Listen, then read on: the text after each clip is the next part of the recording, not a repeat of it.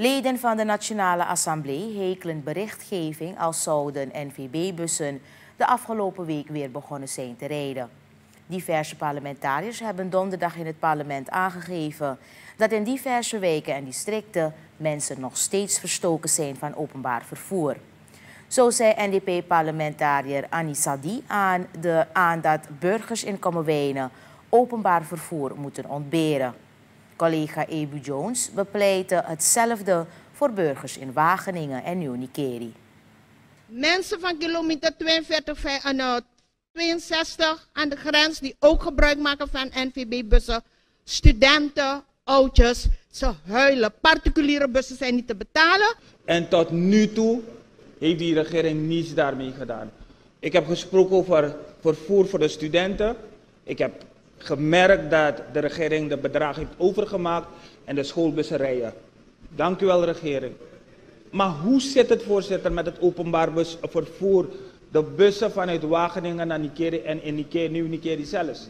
Voorzitter, weet u hoeveel de mensen moeten betalen? Om vanuit Wageningen naar Nieuw Nikeri te gaan voor gezondheidszorg. Er zijn studenten die in de avonturen naar school gaan. Er zijn ambtenaren die in de avonturen in Nieuw Nikeri naar school gaan. Hoe gaan ze daar naartoe als ze het openbaar vervoer niet geregeld is?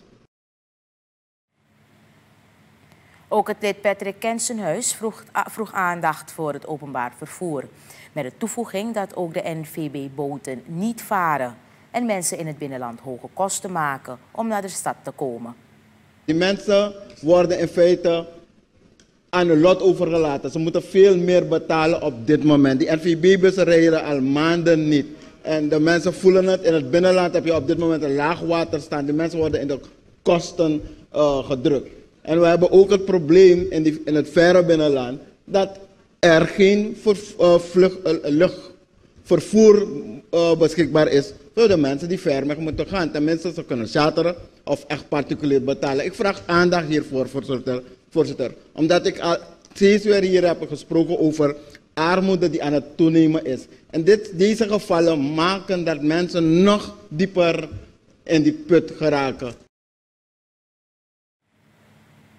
De DNA-leden vragen bijzondere aandacht van de regering voor de problemen binnen het openbaar vervoer.